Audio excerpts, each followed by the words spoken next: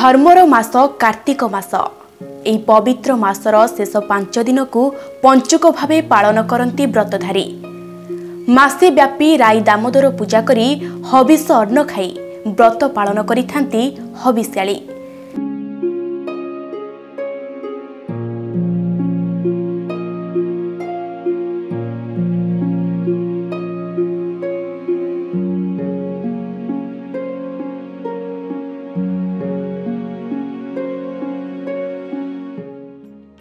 କାର୍ତ୍ତିକ ବ୍ରତର ଏକ ଅନନ୍ୟ ପରମ୍ପରା ହେଉଛି ବ୍ରତଧାରୀମାନେ ଚଉରାମୂଳେ ମୁରୁଜ ପକାଇଥାନ୍ତି।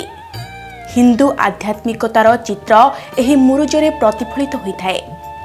ବିଭିନ୍ନ ରଙ୍ଗର ମୁରୁଜରେ ରାଧା ମାଧବ ଓ ଶ୍ରୀ ଜଗନ୍ନାଥ ବଳଭଦ୍ର ଓ ଦେବୀ ସୁଭଦ୍ରାଙ୍କ ଚିତ୍ରଠୁ ଆରମ୍ଭ କରି ଅଁଳା ବୃକ୍ଷ ବଗବଗୁଲି କପୋତ କପୋତି ପ୍ରଭୃତି ଚିତ୍ର ଆଙ୍କିଥାନ୍ତି। जय श्री राधे राधे राधे राधे डके बंसरी मते से ही रूप देखाओ हरी जय श्री राधे राधे राधे राधे डके बंसरी मते से ही रूप देखाओ हरी ज्यों रूपे बड़ी द्वारे हेलो भिकारी मते से ही रूप देखाओ हरी ଚଳିତ ବର୍ଷ କରୋନା କଟକଣା ଯୋଗୁଁ ରାଜ୍ୟର ସମସ୍ତ ମନ୍ଦିର ବନ୍ଦ ରହିଛି। ତେଣୁ ହବିଷ୍ୟାଳୀମାନେ ଏଥରକ କାର୍ତ୍ତିକ ବ୍ରତ ଘରେ ରହି ପୂଜାର୍ଚ୍ଚନା କରୁଛନ୍ତି।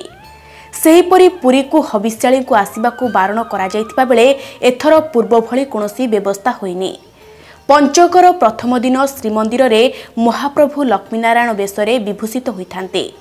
ଅବକାଶ ନୀତି ଶେଷ ହେବା ପରେ ସ୍ୱର୍ଣ୍ଣ ଅଳଙ୍କାରରେ ବିଭୂଷିତ ହୋଇଥାନ୍ତି। ଶ୍ରୀ ବଳଭଦ୍ର ହଳମୁସଳ ଧରିଥିବା ବେଳେ ଶ୍ରୀ ଜଗନ୍ନାଥ ଶଙ୍ଖଚକ୍ର ପରିଧାନ କରିଥାନ୍ତି। Bureau report Takshak news.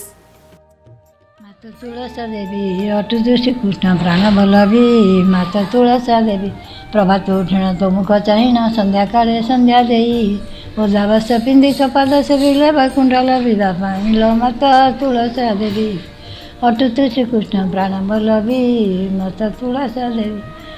ଚାରିପାଖେ ଚାରି ତପି ବସିଥାନ୍ତି ମଧ୍ୟେ ବସେ ବସନ୍ଦରା ଚାରିପାଖେ ଚାରି ଚାମର ଢାଳନ୍ତି ରୁକେଣୀ ରୂପେ ଚଉରଲ ମାତା ତୁଳସା ଦେବୀ ଅଟୁତୁ ଶ୍ରୀକୃଷ୍ଣ ପ୍ରାଣ ବଲ୍ଲଭୀ ମାତା ତୁଳସା ଦେବୀ ତୁଳସୀର ମୂଳ ତୁଳସୀର ଦଳ ତୁଳସୀ ଭୂଷଣ ହୋଇ ତୁଳସୀ ମୂଳରେ ଲୟ ଲଗାଇଲେ ନୀଳଚକ୍ର ଦିଶୁ ସାଇଲ ମାତା ତୁଳସା ଦେବୀ ଅଟୁତୁ ଶ୍ରୀକୃଷ୍ଣ ପ୍ରାଣ ବଲ୍ଲଭୀ ମାତା ତୁଳସା ଦେବୀ